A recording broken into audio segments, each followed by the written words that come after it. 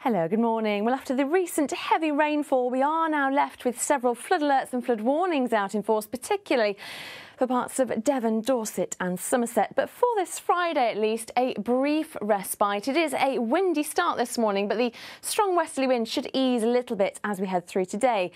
And apart from that, there may just be a few scattered showers in places, but will tend to become more isolated into the afternoon. It's generally dry and brighter compared with recent days, with some spells of sunshine, highs of 10 or 11 degrees. A blustery start too for the Channel Islands this morning, but the wind should moderate later. A few showers here too, but also some sunny spells, highs of 12 degrees.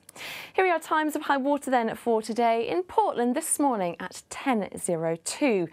But I'm afraid there is yet more wet weather on the way. It'll be a thoroughly wet start, some heavy persistent rain through tomorrow morning, easing into the afternoon. Windy on Sunday with a few showers and also some sunny spells, much colder into next week.